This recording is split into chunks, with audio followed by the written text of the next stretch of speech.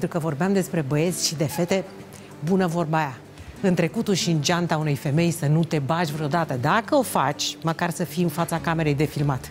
O poșetă poate să ascundă fiecare zi altceva. Bigudiuri, mir, cel puțin asta a găsit tot colega mea Cristina atunci când a găsit fermoar, a deschis fermoarul unei asemenea accesoriu care aparține evident unei artiste foarte cunoscute.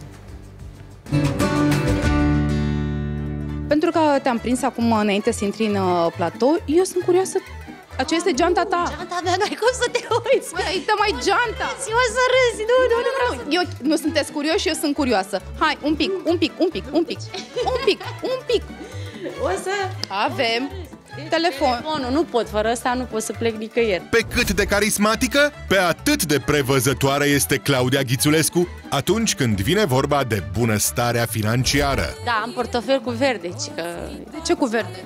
a, noroc de bani. Abia așa mi s-a spus, așa port. Nici cu bani oricât de mulți ar fi Nu poți cumpăra măcar o zi Am agenda, bineînțeles, fără agenda, na. Este plină de rezervări, dacă nu mă înșel. Documentele mele, da. Ce să-ți mai arăt aici? Da, dacă ți arăt asta o să râzi. În afară de... Are bigudiuri. bigudiuri, da.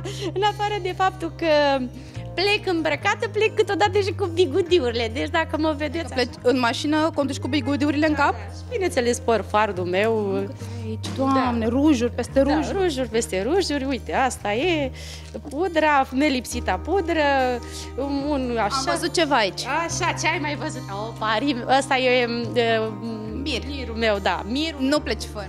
Uh, nu plec fără, da, l-am mereu cu mine pentru că în fiecare dimineață îmi spun rugăciunea, mă dau cu mir, seara la somn la fel și așa mai departe.